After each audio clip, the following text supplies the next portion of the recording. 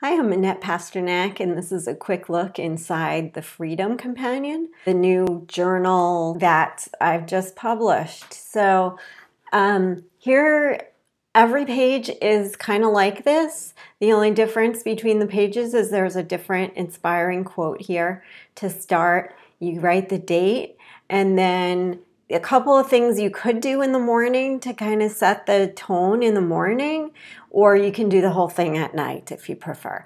But I would do in the morning, I would write something I'm grateful for. It kind of sets the tone for the day for you to be focusing on the positive, on uplifting things, because frankly, when you're in a better mood, I think you can relate to that you do better actions and that you you're less likely to go into uh, large amounts of picking, which you would do more if you're in more negative moods. So the gratitude works great for that, and so does the affirmation. So affirmation is saying something positive that's not quite true yet about yourself, or you don't quite feel it and just writing that down and possibly you know saying it repeating it throughout the day can be a really positive thing and uplift you and just um, keep you focused on what you want. So, whether it's I'm a calm and focused person, whether it's I have clear and beautiful skin, whatever you want. So, those are some things that you could do in the morning. And then in the evening, you're going to just quickly jot down, you're going to review your day and jot down how was your mood on a 0 to 10 scale? How was your calmness? You know, were you very calm or were you totally anxious or somewhere in between? And how was your energy level? How energetic were you? And how was your picking? Because a lot of times these are related and we want to learn from them and we want to learn what affects them in positive and negative ways. And then there's what I like to call the positive log in my other book, my Skin Picking the Freedom to Finally Stop. This makes positive logging so much easier and more effective and more fun.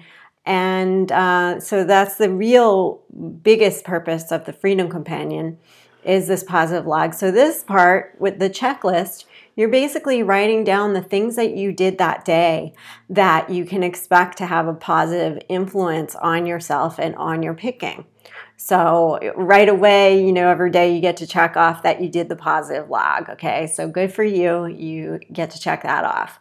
Then there's some other things we've got. I mean, I can, I don't want to read them all, but 488 breathing, mindful check ins, covering the mirror, dim lighting, wearing bandages or gloves, or keeping your hands busy. So these are all examples of tools that you can use that have the effect of decreasing your picking when you're using them strategically in the times and places that you know you would learn either through therapy or by using my book that are danger times and places for you and situations.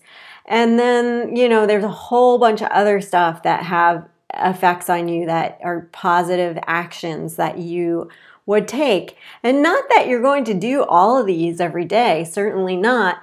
But this gives you the opportunity to look back and say what you've done, and it gives you the opportunity to focus on the positive actions you're taking, which is really important because it's kind of depressing just focusing on the picking all the time. We want to keep track of that up here, but we don't want to keep you obsessed with it or you know you want to be happy about the positive actions that you're taking and trust that they do decrease your picking over time um, okay.